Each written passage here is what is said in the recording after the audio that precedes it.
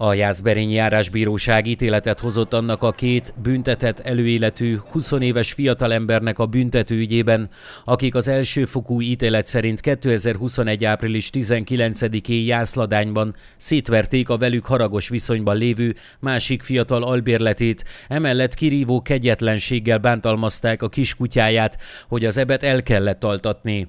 A bíróság elsőfokú ítéletében a vádlottakat bűnösnek mondta ki, társtettesként elkövetett állatkínzás büntettében, rongálás büntettében és rongálás védségében. Ezen kívül az elsőrendű vádlottat bűnösnek mondta ki további egyrendeli testi sértés védségében, mert ő a sértettet bántalmazta is. A bíróság az elsőrendű vádlottat kettő év börtönben végrehajtandó szabadságvesztésre és két év közügyek gyakorlásától eltiltásra ítélte. Társát, a másodrendű vádlottat egy év kilenc hónap börtönben végrehajtandó szabadságvesztésre és ugyancsak két év közügyektől eltiltásra ítélte.